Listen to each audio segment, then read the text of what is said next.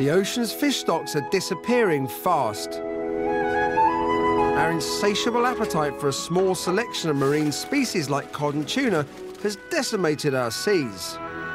If we don't do something about it now, in the next 30 to 50 years, we will have hardly any fish at all left in our oceans. We need to find sustainable alternatives. And I believe the pages of history could hold the solution. Our ancestors ate much more widely from the sea. And there's a treasure chest of alternative marine cuisine just waiting to be rediscovered. I want to show people that there's a whole new world of totally delicious seafood out there. And to prove it, I'm laying on a once-in-a-lifetime fishy feast.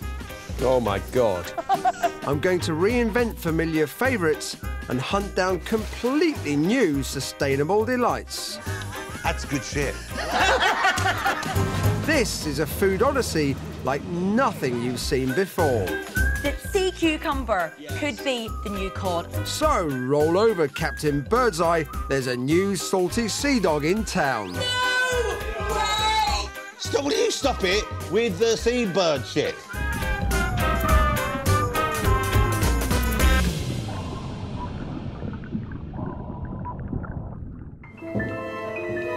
As a three Michelin starred chef, I've spent a career dedicated to celebrating the finest fish and seafood our oceans have to offer. But tragically, this could soon be a thing of the past. The same big five species, cod, haddock, tuna, salmon and prawns, make up 80% of all the fish we eat in the UK. But obliterated stocks mean we need to find alternatives. And there's one place I believe we can look to for answers, and that's history. Our ancestors were far more adventurous in the range of seafood and fish that they ate. And they were incredibly creative in the way that they cooked it. When it comes to tucking into the full range of delights our oceans have to offer, our culinary forefathers had no boundaries. In ancient Rome, stuffed jellyfish and sea urchin custard were hailed as ultimate delicacies.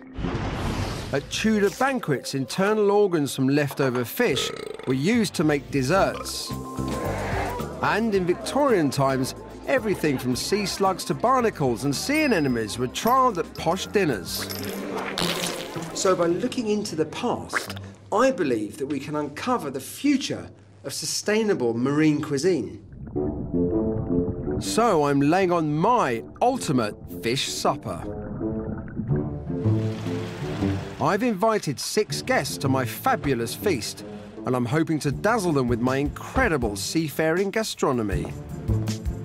The feast tonight is fish, but, but there's a sustainable theme, which is a bit worrying. I think he might be serving us goldfish or something like that. I'm, I'm slightly nervous. I, don't, I hope there's no fish genitals. I, d- I don't even know if they have them, but I really hope there aren't any. Uh, I think sometimes maybe he's a, he's a bit too crazy for his own good. You know, and you think, okay, that's fine. You're alone in your room, your bald head, your glasses, mad scientist, freezing this, burning that, blowing this up. Lovely, but I'm going to have to eat it. For a fully immersive eating experience, I'm sending my diners 20,000 leagues under the sea to my unique underwater dining room. Wow. It's like we're in a fish tank. Look, it's just Oh, my Wow. Look at this. It's, Great table. It's a great table. oh, look, is that Heston? It's A slightly gay diver. Cheers. Cheers. Cheers. On my menu tonight, a fishy Victorian afternoon tea with a side order of giggly gas. my new take of a seaside fish and chips served up with a rather saucy seagull. They're, they're carrying live ammunition. And my incredible edible coral reef dessert. Oh, my goodness. Crab biscuit is good. So it's time to set sail on my sustainable seafood adventure. And I'm kicking things off with a true British seafood institution. You don't have to delve too far back in history before you come across a wonderful British sustainable seafood that has sadly fallen out of favour, and that is scampi. In the 1970s, every pub table groaned with baskets of plump breaded scampi, but they're now somehow considered naff. Scampi are plentiful round our shores, but we ship tons off every day to the French, who love them. I'm determined to put this neglected classic back on the menu, and I'm using a bit of nostalgia to give it my own twist. I've got a wonderful memory of the first time I ever tried beer. I remember so clearly having a little half pint of shandy and a packet of these scampi fries. That great little kind of like a squashed pillow shape. But scampi is now considered as a pretty cheap and nasty ingredient. But how many people know that scampi is actually this, langoustine? So what I want to do is take this and turn it into my ultimate scampi fry. Sustainable langoustine caught using creel baskets or pots are best. I start by removing the plump tail. It's chopped and mixed with sweet preserved lemon. Inside of that, I'm going to put one of these. It's a soft-boiled quail's egg. So the idea is when my guests bite into the scampi stuffing, they'll get this wonderful warm liquid yolk. And for some real luxury, I'm surrounding my mini egg with wafer-thin slices of white truffle. What I'm now going to do is turn it into my ultimate scampi fry. I'm going to use the blitzed crumbs from the actual scampi fries to create a uniquely fishy crumb coating. This gives a perfect crisp texture once deep fried. So here is an original scampi fry, and here is my ultimate scampi fry. To top it off, I need to recreate that dinky half pint of shandy I remember so fondly. A langoustine and tomato consomme forms my shandy base. Obviously, every beer needs a head. And I'm using a celery foam. So here is my ultimate scampi fry and my ultimate scampi fry beer. Cheers. So, have I done enough to transform this naff 70s seafood into something befitting of my feast? Back in my galley, it's a nail-biting watch. Oh, it's the captain. Captain Birdseye. Please come over to the bar area and sample Captain Heston's scampi fries. Oh, lovely. Wow, look at that. It's just one giant scampi thing in there. Yeah. Mm. Oh, oh, it smells. wow. Smells good. Smells like scampi. Delicious. Oh, it's an egg in there. Oh, it is an egg. Some sort of egg, isn't it? Quail's egg? I love this. Who would have thought egg in the middle of your scampi? So delicious. But I loved it. It was great. It was good. Perhaps slake your thirst. Hello, With some Heston scampi ale served by my cabin boy. Oh, Look at that. It's a little beer. It's like a sort of tiny baby beer for you. Bottoms Cheers. Oh, oh no, what is it? I've never tasted anything quite like it. It's good something. It goes nice with this. This is it's 100% scampi. I thought that was unbelievably delicious. Very nice. Fantastic. Do you know he should he should go into cooking. I really He has a real flair. That was definitely fit for the captain's table. So my delicious scampi fry proves just how much we're missing out on this native delight. But next, I'm risking shark-infested waters to create a Victorian starter in which nothing is quite what it seems. That's good shit. that is good shit.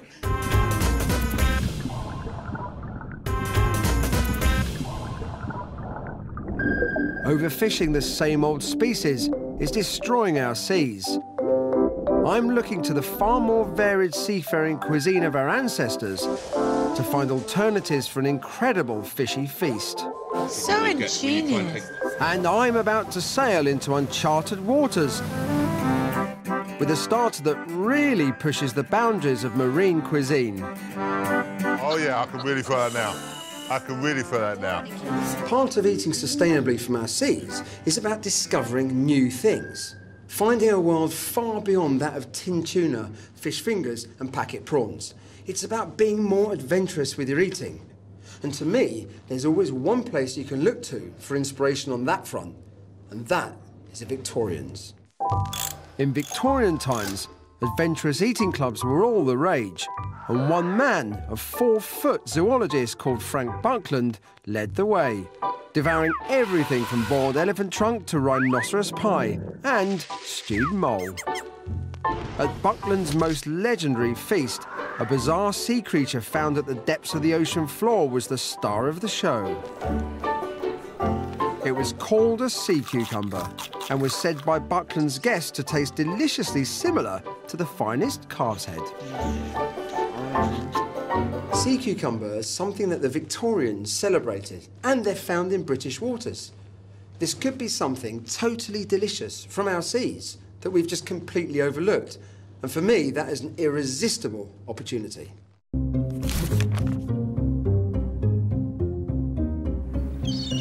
Sea cucumbers thrive off British shores, and plans are underway to farm them for food on the Scottish coast.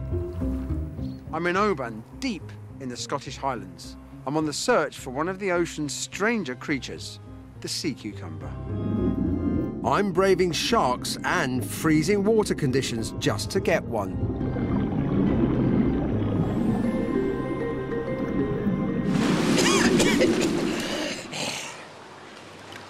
I've done it again, haven't I? Overexcited. Forgot to close my mouth. OK, so I'm really at Oban Sea Life Centre, but with very good reason. My culinary hero, Frank Buckland, kept special fish tanks in his house, which he'd dip into for a really fresh fishy treat. Paying homage to Frank, that's exactly what I'm going to do. Dive, dive, dive. Sea cucumber may sound like a vegetable that you chop into a seafood salad, but it's actually a marine animal related to the sea urchin and starfish.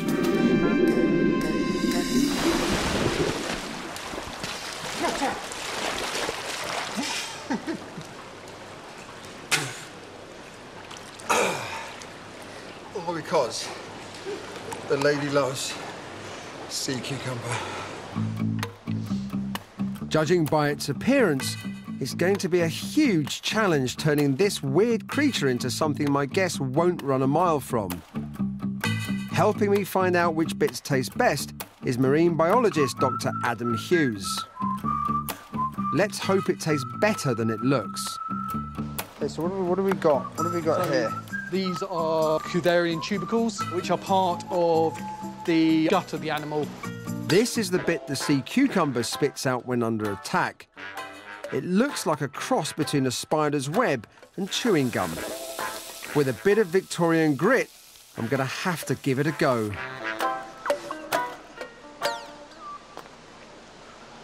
Recommend it.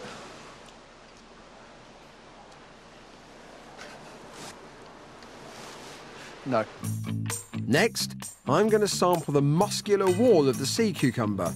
This plant is particularly savoured in many countries.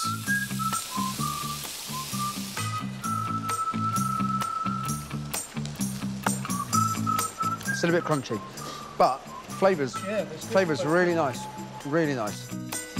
Success! The Victorians might have been onto something after all. Finally, can I bring myself to sample the bright orange gonads of the sea cucumber? OK, certainly not tough.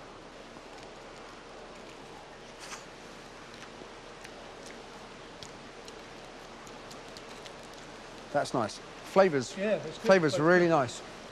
Certainly, there's two bits of that that uh, I would happily eat any day.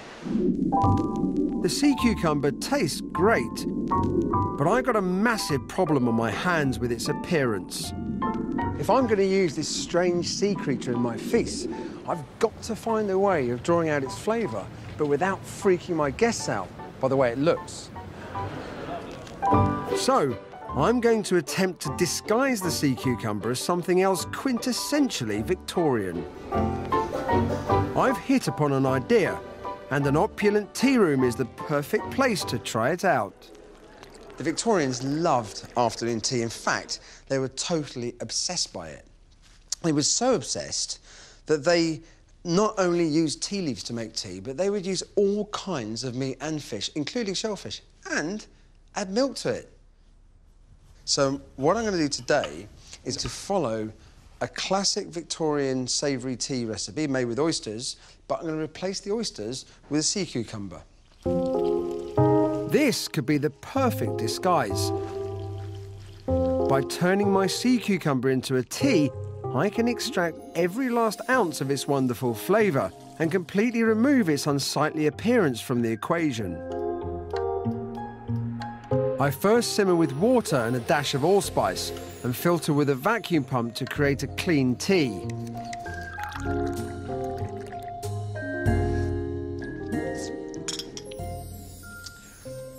It's like nutty note, a slight sort of seafood shellfish note. I think it's nice. Has my culinary camouflage really worked? Will people like my tea and not care where it came from? That's a fishy tea.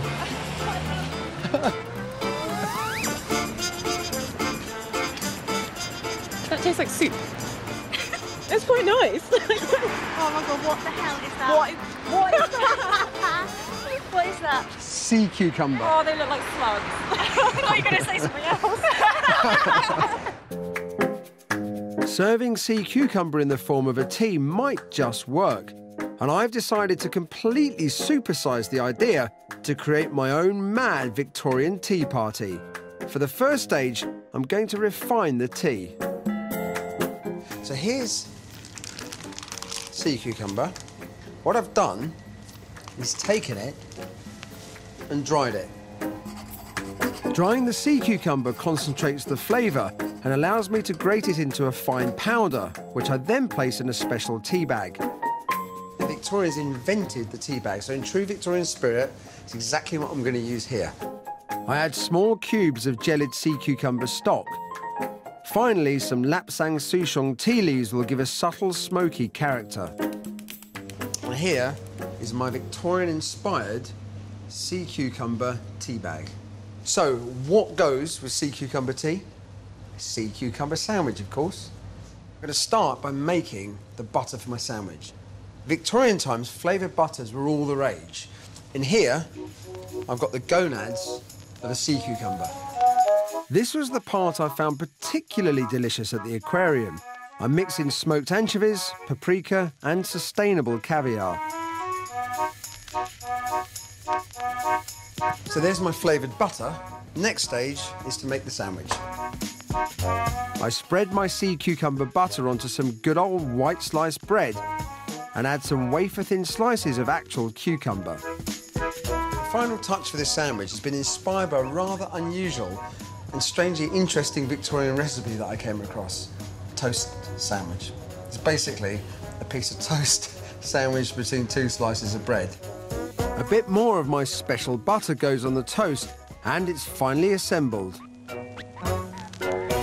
So here is my sea cucumber gonad toast sandwich. Perfect for any vicarage tea party.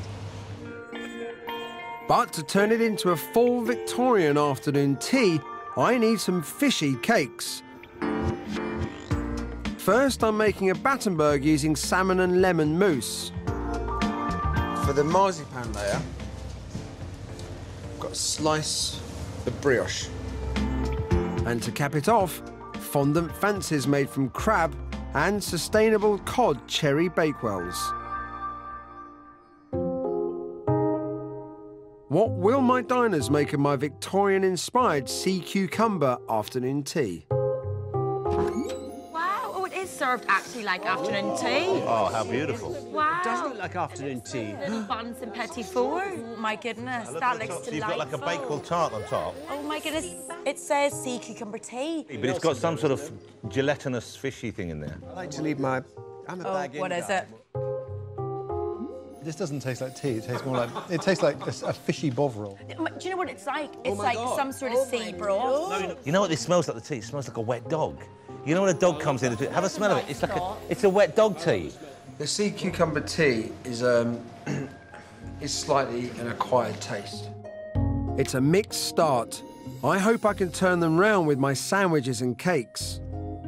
Very nice. Mmm. That is great. That's really, really tasty. That is absolutely delicious. That is delicious. That cucumber was great. You know what was the, but you know what I think was the masterstroke was the bit of toast in the middle. Cucumber sandwich is going down really well. Shall we go? Shall we go Battenberg 1st You're right, Battenberg, please. Smells nice. It doesn't mm. smell offensive. With the bread. Is mm. it savoury? Then it's nice, yeah. Delicious. It's gorgeous. It's gorgeous. Mm. Oh. It looks perfectly like a bacon. I love. Ooh. Oh, it's good though. All very nice. Especially the sandwich was gorgeous. I think that sea cucumber Yes. could be the new cod. With my fishy cakes and sandwiches a hit, I've got a quintessentially trippy Victorian treat to cap my tea off. I know I am a bit worried. 19th century divers described strange mind altering experiences when walking on the bottom of the sea. That's really weird. Can you feel it tingling? Oh, yeah, I feel quite weird. Caused by excess nitrogen in the blood, they called it rapture of the deep. I'm giving my guests their own taste using a special gas mixture that includes nitrous oxide or laughing gas.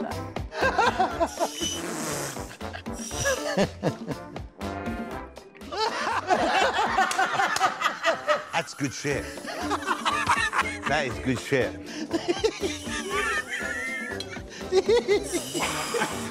Oh, yeah, I can really feel that now. I can really feel that now. Here's the rapture of the date. That's what I say. More of that. He's going to have to come up with some bloody good thing now. So, my afternoon tea party and rapture of the deep combo has sent my guests into the depths of pleasure. Next, I'm channeling my inner Viking as I take on a terrifying fish that makes a piranha look like a minnow.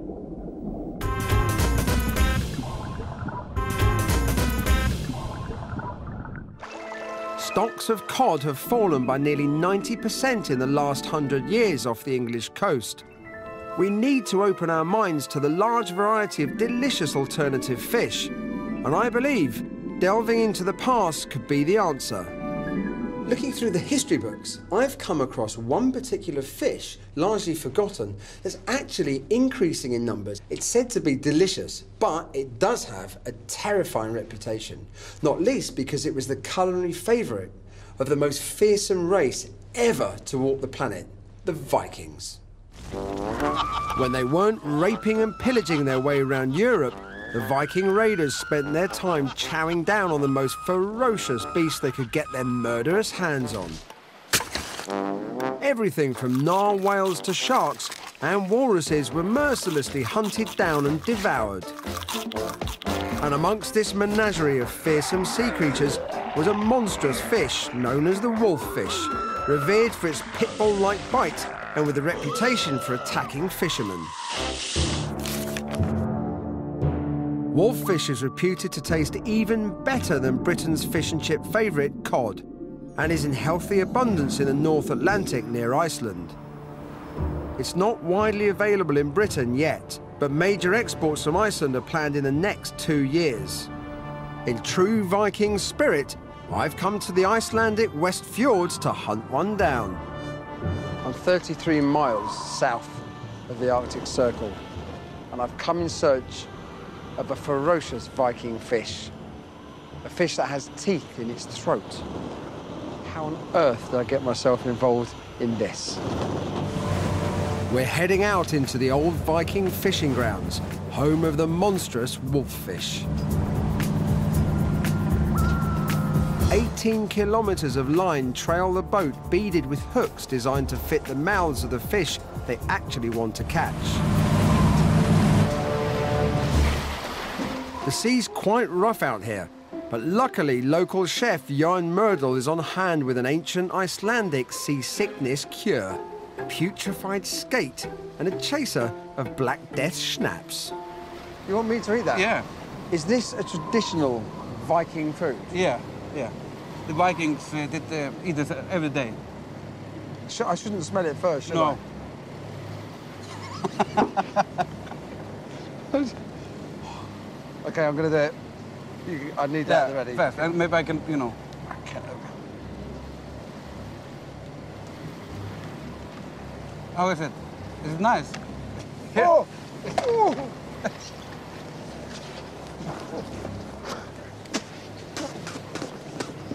do you need?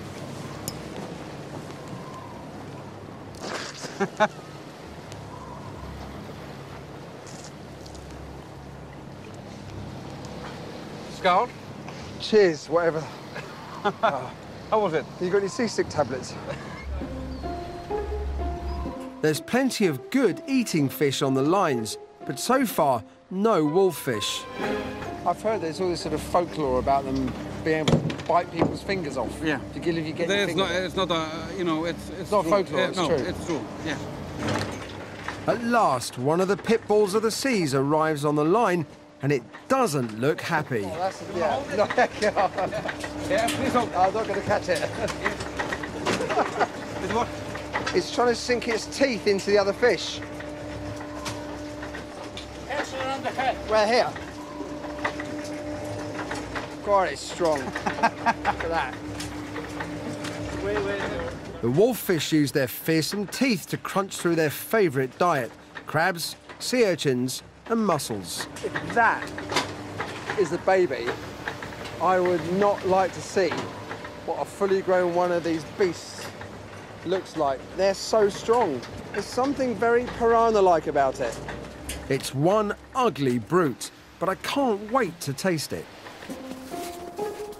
We've been invited to a special Viking ceremony tonight, and I'm serving up wolffish. My tiddler isn't going to feed many people, but another boat has managed to land some whoppers. Just as I'm about to fillet one, I feel something sharp and strange in its stomach. Look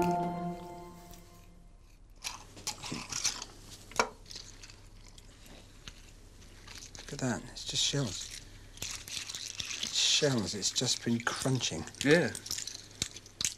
No wonder you don't want to get your fingers stuck in that mouth. you think about it, how big is a fish's bottom? Pieces of shells like that. If you had to pass those out when every time you went to the toilet, you'd be cross, wouldn't you? You'd be really bitter and angry. Yeah. Wolffish fillets are common in the Icelandic diet.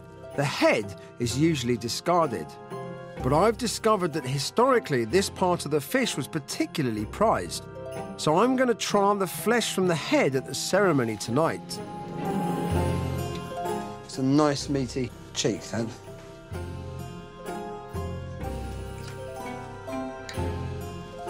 So eventually, I've got as much meat as I can get off this head. I've got the jaw open. I want to keep it simple, so I'm just lightly sautéing the wolffish in butter and seasoning with salt and pepper. Okay, so I'm going for my first taste of wolffish head. I think I'm going to go for the palate, this bit first.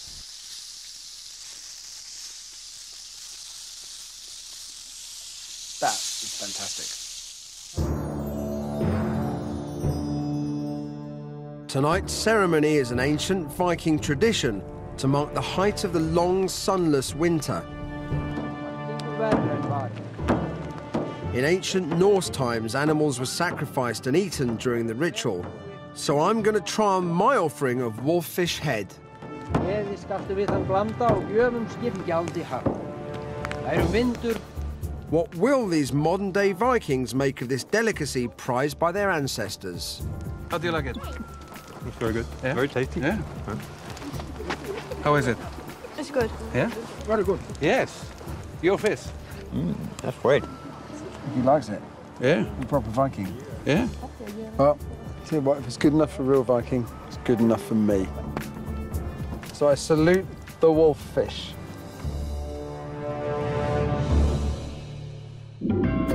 It might have a face only its mother could love, but wolffish head tastes delicious. Will Brits really think this monstrosity measures up to beloved favourites like cod and haddock? To find out, I need to take wolffish to somewhere completely entwined in Britain's love affair with eating fish. So what better place to come than the seaside? I'm at the spiritual home of fish and chips, Brighton Pier, and I'm about to give the British public their first taste of brutish wolffish. This killer Viking fish is not the most attractive you've ever seen. So in order to introduce it to the British public, I thought the best way to do this would be to serve it in a way that we all recognise. And that means battered fish, just like fish and chips. And basically, the idea is to take off the cheeks, top of the head, the soft palate under here, and then get inside the end of the tongue. What we need to do now is batter them, fry them, and then find some keen tasters to try it out on.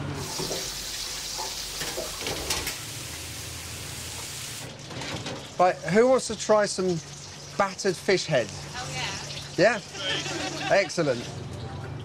Really meaty. Meaty, yeah. Mm. Really nice. Mm. It's nice. You find it's really, um, Really moist. Yeah.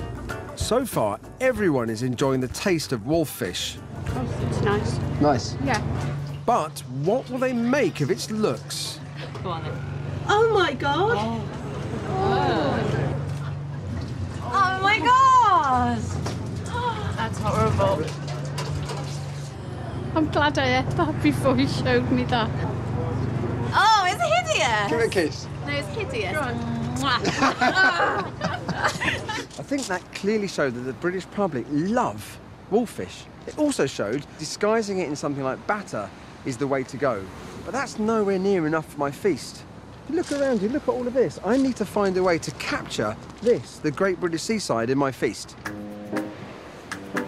To go with my wolffish, I've been thinking about the other things that make a day out at the seaside, and one of my favourites is candy floss. So I'm not going to make just a plain old candy floss.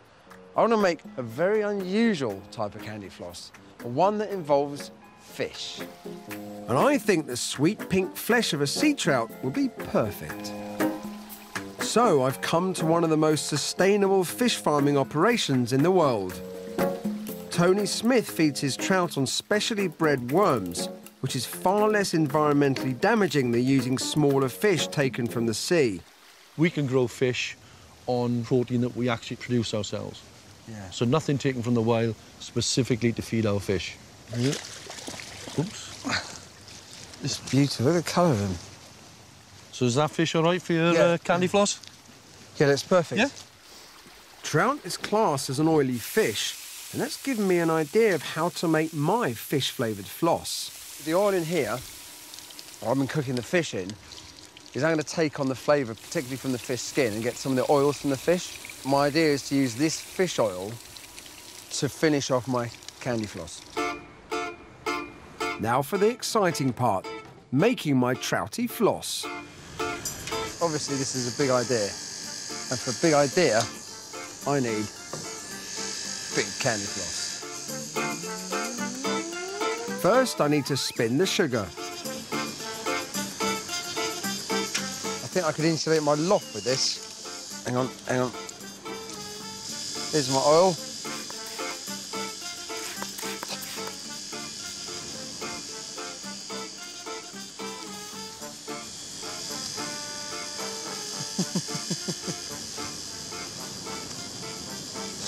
Interesting, that. Actually not unpleasant at all. That's really nice. Nice, isn't it? That trout was delicious, and I'm definitely using it in my main. But wolffish is going to be the star of my edible tribute to the British seaside. Had such a fantastic reaction from the wolffish cheeks that I battered and deep fried in Brighton that I've got to include that in my feast. I batter and deep fry the delicious nuggets from the head of the wolffish. So there's my battered deep fried wolffish cheek. I'm going to serve it in a newspaper cone with some good old fashioned chips. Next, to upgrade my candy floss, I'm using sustainable trout to make a special stick of seaside rock. I have a slice of trout, which I've cured, smoked, and then marinated in beetroot juice, hence the red colour. I pipe on a mixture of cream cheese and horseradish and roll into a cylinder. I need to harden that up because there's something special I want to do to this. I freeze the fishy cylinder in liquid nitrogen. You must remember, if you had rock when it starts to break apart, split, or you have it in the, in the, in the plastic packet when it's all squashed. Oh, watch this.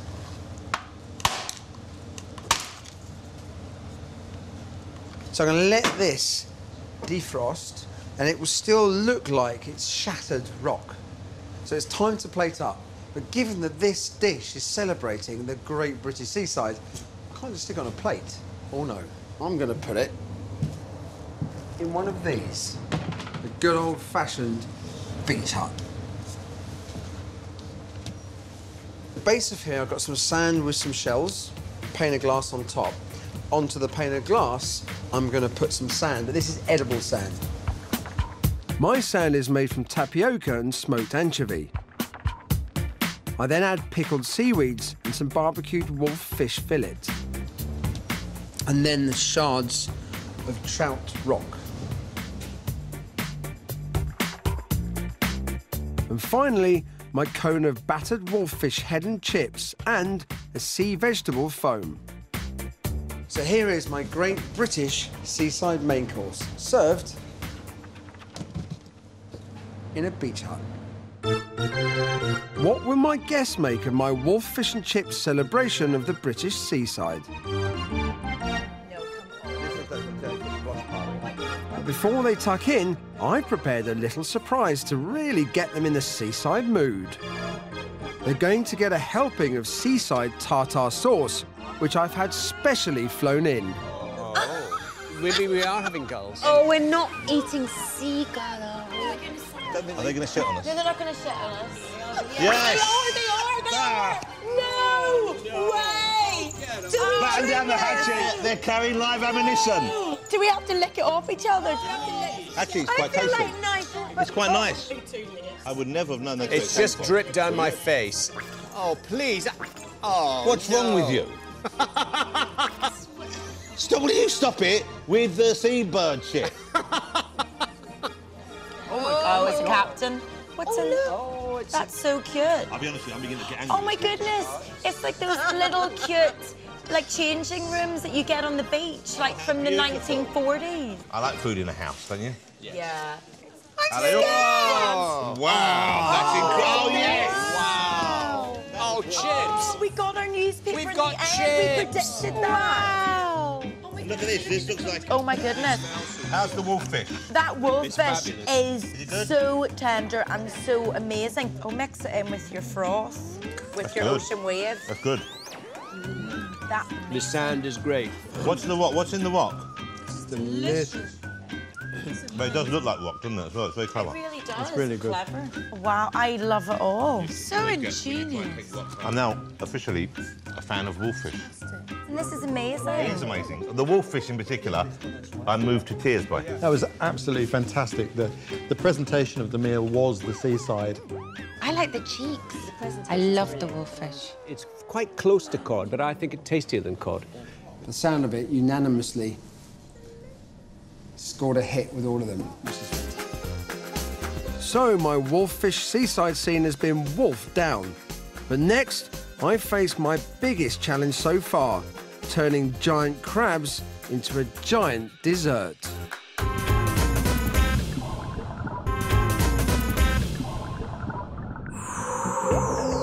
It's time for dessert. And in Tudor times, sweet ingredients were often combined with fish to create unique dessert like dishes, including salmon fruit pie and pike biscuits. I want to revive this amazing tradition for my feast. I just need an ingredient to do it with. And flicking through the history books, I think I might have just come up with a surprising candidate crab. But I want to use sustainable giant king crabs, made famous in another historical era. Bizarrely, these enormous crustaceans were introduced into the Baltic Sea by murderous Soviet leader Joseph Stalin as a way of feeding his starving population. The man of steel might be long gone now, but his giant red crab army has since exploded in numbers and become a pest, marching forth across the Atlantic. We'd all be doing the oceans a massive favour if we ate them. I believe that the natural sweetness in crab could help create an amazing dessert. I've come to deepest, darkest Oxfordshire to find the man I'm hoping can help me catch crabs. Hugh Coulthard is paving the way to bring king crabs to Britain's tables. Hugh? Yeah. Why are we going upstairs? Didn't you know it's the best place to get crabs? This isn't your average shellfish shop, but then these aren't your average crabs. Hugh's brought home three red king crabs for me to choose from. When you pick it up, you've got to get right underneath it. And watch your fingers because he'll put his claws underneath. They can grow up to six feet across, but even these smaller ones look like monsters to me. I would say that is a good-sized crab. Now for my first attempt turning crab into a sweet delight. I'm going to modify an old Tudor recipe for a fish biscuit. A local bakery is the perfect place to do it. Morning, morning. I borrow their biggest pot to boil my giant crab. Then I use the copious sweet flesh from one of its legs to mix into a shortbread dough, which then goes into the oven. And to finish that off, I'm going to make a syrup using the shells. I coat the undersides of my biscuits with the crab syrup to add extra flavour. It's quite crabby, but there's something in it. It definitely is. You can get all kinds of delightful cakes and pastries here, but what on earth are the staff and clientele going to make of my king crab cookies? Sweet, syrupy. Nice combination. Hmm. Really nice, actually. It is bizarre, hmm. but it is delicious. a crab biscuit is certainly not an expected combination, but it worked really well. Everybody loved it. So mixing seafood and sweetness really does work, but I can't just serve my guests a biscuit for dessert. I want to scale up the idea and create a completely edible coral reef. And for the first stage, I'm making the ultimate crab biscuit. So what I've decided to do is create a caramelized crab biscuit. So first step is take the crab, roast the shell, and basically make a stock. Then reduce that stock down until you're left with something so concentrated it's effectively crab bovril. I mix my crab bovril with flour, maple syrup and butter. Add egg whites and blend. So now I need to spread it out onto this non-stick sheet. Pop that in the oven for about 15 minutes. The cooked biscuit is broken up to be blitzed with a special non-sweet sugar. Reduce that down to powder, as well as doing a crab powder. I've done exactly the same thing, but flavoured with seaweed. The refined crab and seaweed powder goes back in the oven. Once cooled, my biscuit is ready. And you can see it's incredibly thin and nice and crisp. My biscuit's just the start of what's to become my edible coral reef. So I'm making candied coral using sugar mixed with seaweed, which I put into a vacuum chamber. It's sucking the air out, so it's, it's, it's sucking this caramel up like a souffle. So here is my bubbled sugar coral seabed creation. Next, I'm going to make a chocolate starfish. I pipe a mixture of raspberry sorbet and chocolate ice cream into a starfish-shaped mould and set. For the mouth of my chocolate starfish, I'm using a raspberry. There's one thing left to do to turn this into a proper chocolate starfish. I need a chocolate coating. I spray on orange chocolate and add biscuits crushed with crystallized seaweed to the base. So, time to put my coral reef together. I've built a rocky outcrop in one corner of my feasting room, on which my chefs and I place all the aquatic treats. Oh, oh my God. Oh, oh I told you! I knew it! Can we come with you? Oh, can we come? Are we following you? Is it here? It's the coral rock bed.